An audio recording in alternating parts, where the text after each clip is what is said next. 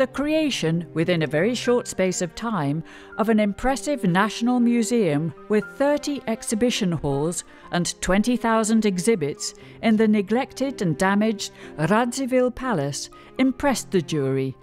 who praised the museum workers for going above and beyond the call of duty in their handling of the palace's complicated past. Europa Nostra Award winner in the category Dedicated Service the National Historical and Cultural Museum Reserve, Niasvizh, Niasvizh, Belarus.